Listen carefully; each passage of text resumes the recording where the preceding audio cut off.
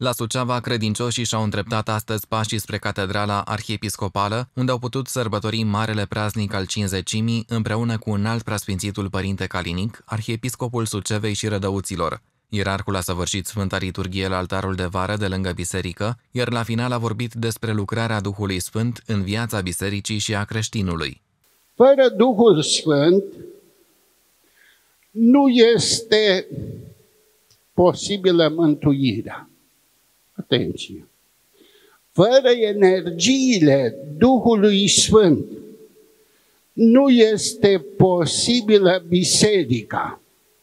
Duhul Sfânt este cel care îi consacră pe preoți ca economi ai tainelor lui Dumnezeu. Păstrează unitatea, sobornicitatea și apostolicitatea bisericii împarte darurile tuturor credincioșilor și slujitorilor bisericii.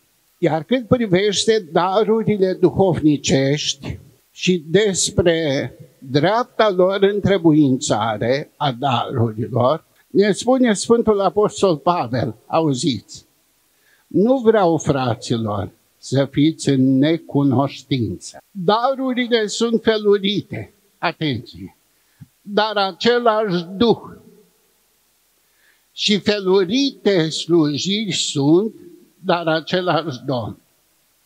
Și lucrările sunt felurite, dar este același Dumnezeu care lucrează toate în toți. Credincioșii au rămas în continuare la vecernia plecării genunchilor, la finalul căreia au primit ramuri de tăi, binecuvântate cu aghiazmă, de înalt preasfințitul părinte arhiepiscop Calinic.